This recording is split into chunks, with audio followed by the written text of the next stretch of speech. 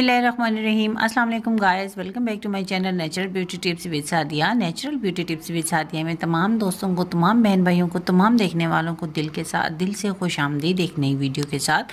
तो कैसे हैं आप सब लोग? उम्मीद करती हूँ तमाम मेरे व्यूवर्स, तमाम मेरे दोस्त, तमाम मेरे बहन भाई अल्लाह ताला सब लोगों को अपने हिफ्स में रखे, खुश रखे, बाश रखे। और इन ठीक ही होंगे।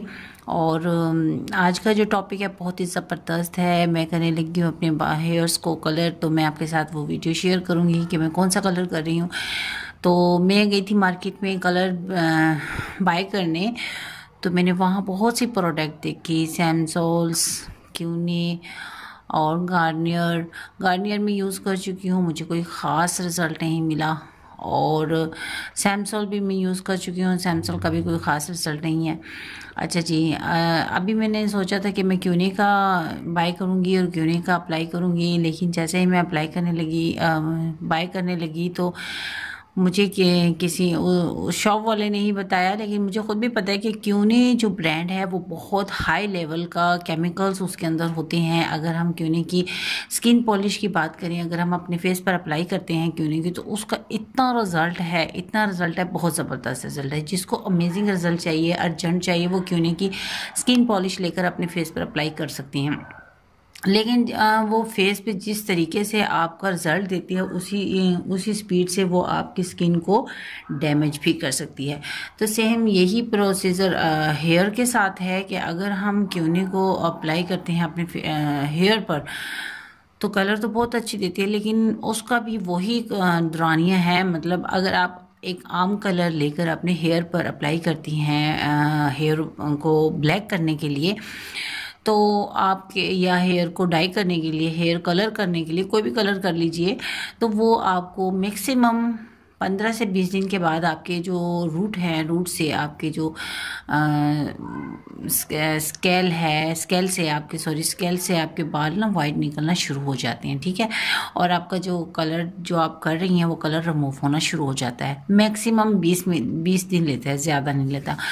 तो क्यूने का भी यही होता है कि क्यूने भी बीस ही दिन गुजारता है बड़ी मुश्किल से और उसके बाद बाल रफ रफ हो जाते हैं या कुछ भी हो जाते हैं। लेकिन आज हम एक्सपेरिमेंट देख लें, करते हैं जी। ओलिविया पे मैं लेकर आई हूँ। ओलिविया हेयर कलर पहले मैंने सेंसर लिया था, उसके बाद गार्नियर भी लिया था। मैं वैसे करती नहीं हूँ, अपने हेयर्स को कलर नहीं करती।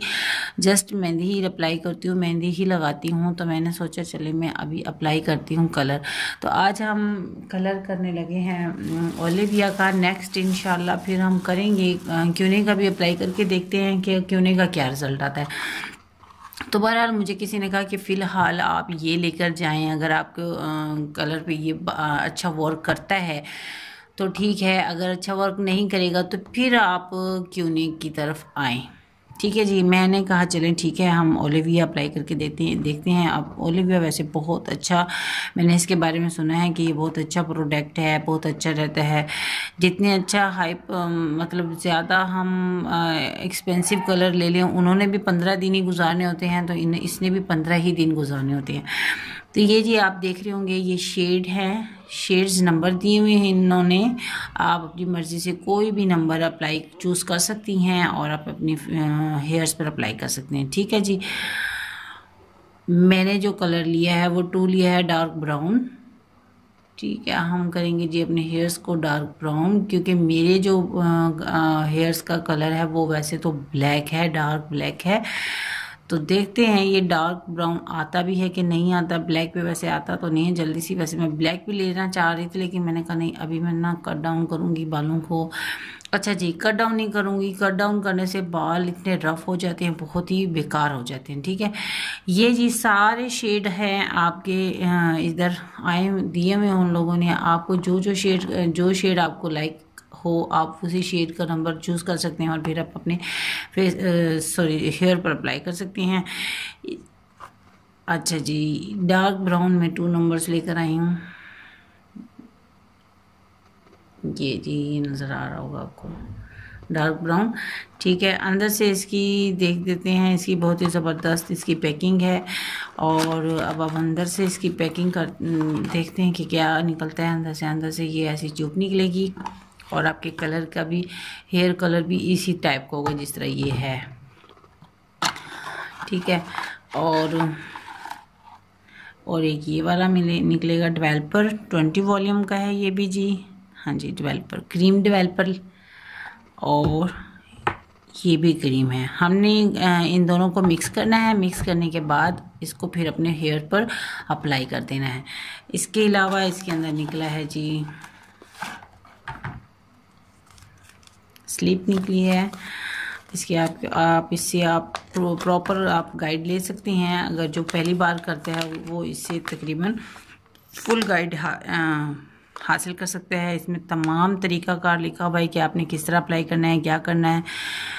मिलाने का तरीका लिखा हुआ है, फिर हेयर्स पे अप्लाई करने का तरीका हुआ है, फिर आपने कितने मिनट रखना है, कितने घंटे रखना है, ये सब प्रॉपर आपको इस पर लिखा हुआ है। इसके अलावा आपको इसमें इसमें ये आपको ग्लव्स मिलेंगे। ग्लव्स का बहुत ही बुरा हाल किया हुआ है, चलने जी खैर है। ये आपको ग्लव्स मिले अब आ जाते हैं इसकी प्राइस पर। इसकी प्राइस कितनी है? इसकी प्राइस सिर्फ़ वन फिफ्टी है। ज़्यादा नहीं है वन फिफ्टी इसकी प्राइस है। और इसके रिज़ल्ट भी अच्छा है, बहुत अच्छा है। इसके अंदर तमाम वो चीज़ें हैं जो आपके कलर आपके हेयर को कलर करने में आसानी करते हैं और आपके हेयर्स को खूबसूरत करते हैं। एंड नोट इसमें लिखा हुआ है कि आप ये प्रोडक्ट यूज़ करने से पहले अपने तमाम स्किन को। आप जो चाहते हैं ना कि जहाँ जहाँ आपके ये फेस पर ना लगे मतलब फॉर हेड पर या एयर्स के ऊपर तो आईब्रोज वगैरह आई लैशेज वगैरह, ये जितनी भी चीज़ें हैं, इनको वैसे तो सेव करनी है महफूज बचाना है इन, इसे और उसके बाद आपने थोड़ा सा बना के आपने अपने इधर हाथ पर अप्लाई करना है कि आपको ये सूटेबल है भी या नहीं है। उसके बाद आपने ना अप्लाई करने से पहले आपने ये वैसलीन का यूज़ करना है, जहाँ जहाँ आप चाहते हैं कि ये ना लगे मतलब फॉर हेड पे या कान पे या नेक पर तो वहाँ वहाँ आपने ये थोड़ा सा हाथ पे लेकर अपने फेस बॉडी के उस हिस्से पर इसको लगा लेना है, ताकि ये इसका हेयर कलर वहाँ पर कलर ना दे। ठीक है जी? उसके अलावा आपने इसको 20 से 25 मिनट के लिए छोड़ देना है। 20-25 मिनट के बाद आपने इसको सिंपल वाटर से वॉश करना है। तो बनाने का तरीका क्या है कि आपने अपने पूरे हेयर्स पे अगर करना है, आप देखते हैं कि ये आपके हेयर्स के, आपने सिर्फ़ जस्ट सामने वाले हेयर्स पे करना है तो ये आपने हाफ़ हाफ़ क्वांटिटी में लेने हैं और अगर आप चाहते हैं कि आपने फुल पे यूज़ करना है तो आपने इसको पूरा पूरा यूज़ करना है, ठीक है? हम, मैंने अपने पूरे हेयर्स पे अप्लाई करना है तो मैं इसको इन पूरे ही पे अप्लाई करूँगी। ये इस क्रीम का टेक्स्चर दिखा दूँ, ये इस तरीके से निकलेगी जी वाइट कलर की क्रीम है, ठीक है? और इसको भी दिखा देती हूँ, ये अंदर से किस टाइप का होता है। ये भी जी क्रीमी है, ये देखें। ये भी क्रीम है नज़र आ रहा होगा।